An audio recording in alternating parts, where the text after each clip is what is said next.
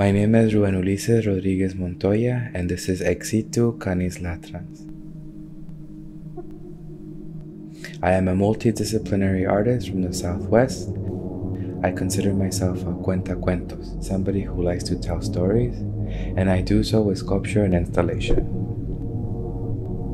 The title of this exhibition is a spell, Ex Situ Canis Latrans, Ex Situ Canis Latrans. Ex Situ is a term for when a species is no longer able to sustain itself within its ecosystem. Environmentalists bring the species into a different protected environment so it can live. Canis latrans means coyote in Latin, which alludes to both the intelligent and highly adaptable canine whose mythology has been misconstrued by ranchers wishing to eradicate it from its ecosystem, but also, in its metaphor, the coyote guides migrants across the border.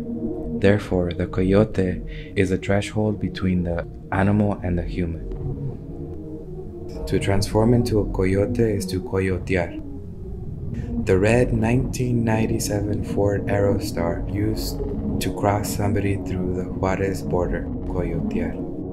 The cousin who borrows a passport to enter the United States, coyotear. The abuelita's house that becomes a den the family hides in after crossing, coyotear. The whole family pitching in to cross somebody across the border, coyotear. The work then expands on the notion of coyotear. It is a shapeshifting. It is becoming. It is unbecoming. It is Nahualismo. Nahuales which are magical beings that can shapeshift from human to animal. Like vampires, for example, are beings that have lived inside my imagination since I was a young boy. With their magic, their powers, I have been able to pierce the veil of hegemonic structures of how to be. Nahuales live among me. Their mythologies coexist in the same landscape as I am living. But at the same time, I grew up with the pop culture mythologies of the West.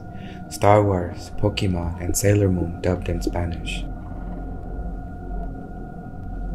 I titled this work, A Being Mistakenly Called La Nave de Kylo Ren, as a way to think about how Western culture permeates, invades, and erases the archetypes and visual metaphors that are already present in our non Western cultures thinking about kids naming this creature by watching too much Star Wars and never having been taught the name of the monsters that live in around them. Not even knowing its mythology, that La Nave de Kylo Ren hunts small snails, lives inside an underground den filled with motor oil, or that it only hunts for blood when Halley's Comet is at its closest convergence to the Earth. The Nahualitic creatures that I'm making are a result of growing up in close proximity to toxicity. Imagining that they too inhaled landfill fumes of where I grew up.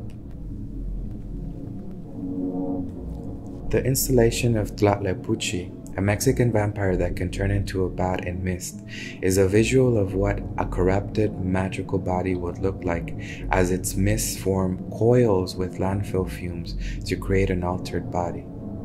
The story that I've created for her is a prequel. What would it look like for a vampire to cross the US Mexico border in a contemporary time? Tlahtlepuchi is a vampire born before linear time, when blood sacrifice was a ritual that gave pulse to the cosmos, and jade pearls dangled on the chest of those said to rule the center of the universe. She hunts only those that cause harm by cutting her finger to draw out blood, placing it on the ground, and feeding her blood to a rhizomatic network of mycelium that spreads for hundreds of kilometers all over the soil.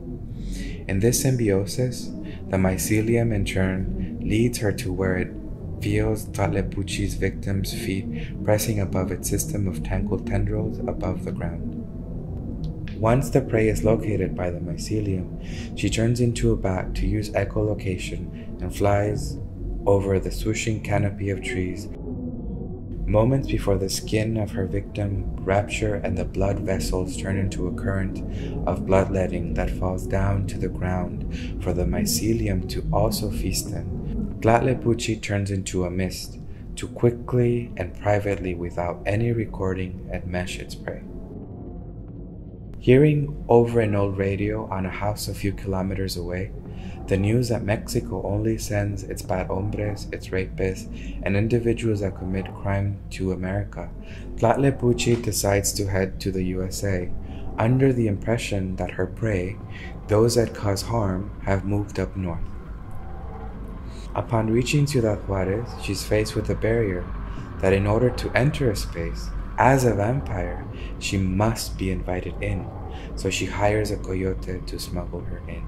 Tlatlepuchi then becomes a fine mist and transforms into what looks like a vaping cloud a millennial might have ebbed out of his mouth. The coyote uses both of his hands to gather the fine mist and places it inside the styrofoam. Once the 18 wheeler containing Tlatlepuchi arrives on the other side, she edges herself out of the latch door of the trailer as a fine and hazy film of pearly mist. So dense, it immediately falls down to the ground. She spreads out as nothing but colorless vapor into the empty solace of the desert. Wisps of herself rise up into the morning night sky that will soon be shrouded by the sun.